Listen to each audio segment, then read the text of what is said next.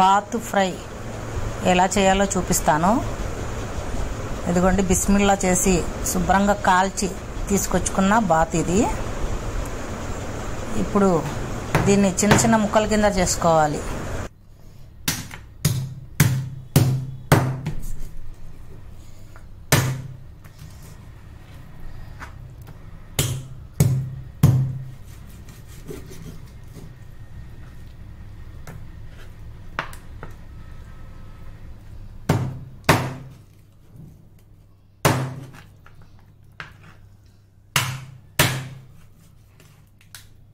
మనకి ఏ సైజు కావాలంటే ఆ సైజులో పీసెస్ కింద కొట్టుకొని పక్కన పెట్టుకొని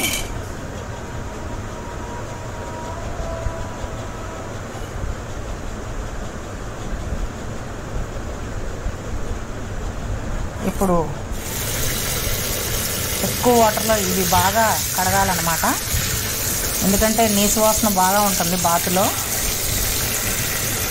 అందుకని చెప్పని ఎక్కువ వాటర్లో కడుక్కోవాలి మనం. ఎంత బాగా కడిగితే అంత బాగుంటుంది.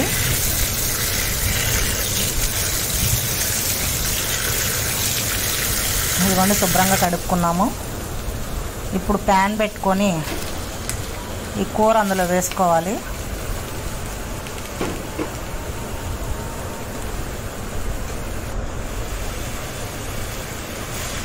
ఇప్పుడు ఇందులో కొంచెం వాటర్ పోసుకోవాలి.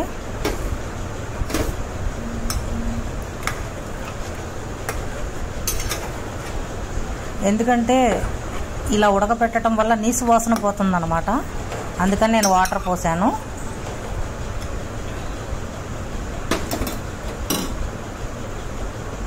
ఇప్పుడు ఇందులో కొంచెం పసుపు వేసుకుందాము.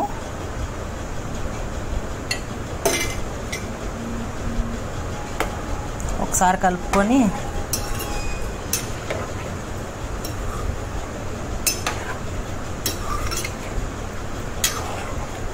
ఒక పది నిమిషాలు ఉడకనివ్వాలి.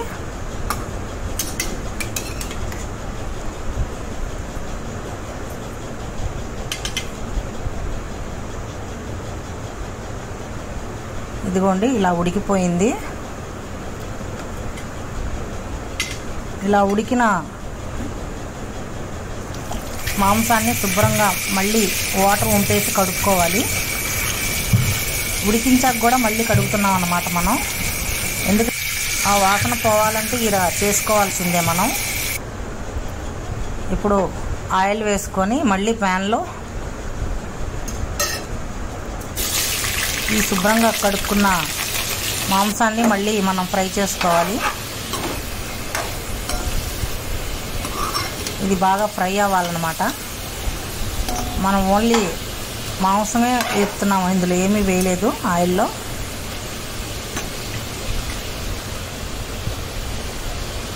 కొంచెం గోల్డెన్ కలర్లో ఫ్రై అవ్వాలన్నమాట.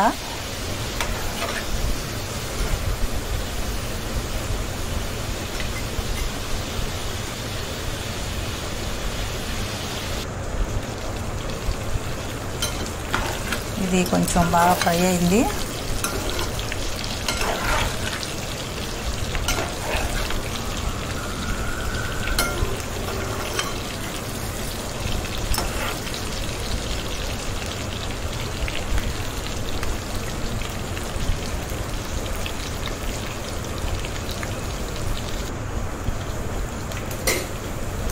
ఇప్పుడు ఇందులో అల్లం వెల్లుల్లిపాయ పేస్ట్ వేస్తున్నాము.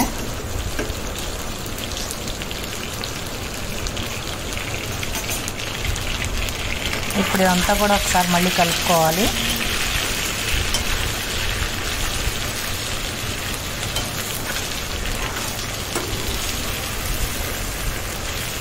ఇదంతా మళ్ళీ కూడా ఒక ఐదు నిమిషాలు ఫ్రై అవ్వాలన్నమాట. ఇప్పుడు ఇందులో సాల్ట్ వేసుకుంటున్నాము.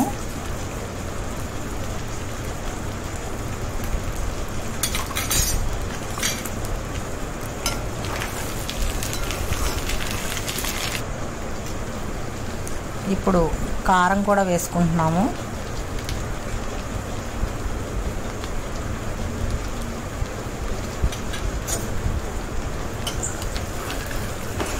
ఒకసారి అంతా బాగా కలుపుకోవాలి.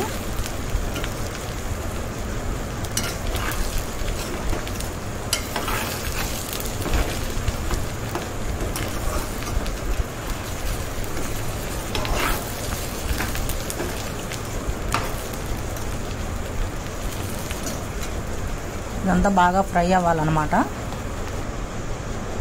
ఇదిగోండి ఫ్రై అయిపోయింది.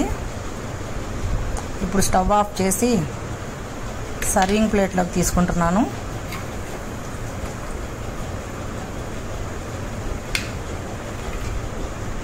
చూసారా ఎంత బాగుందో? నోరూరించే బాత్ ఫ్రై అన్నమాట. రెడీ అయిపోయింది. నా ఛానల్ కనుక మీకు నచ్చితే సబ్స్క్రైబ్ చేసుకోండి బెల్ గంట క్లిక్ చేయండి కామెంట్ చేయండి. మీ అభిప్రాయాన్ని తెలియపరచండి. చాలా సింపుల్గా చేసుకునే బాతు ఫ్రై రెడీ. టేస్ట్ చేసి ఎలా ఉందో చెప్పండి.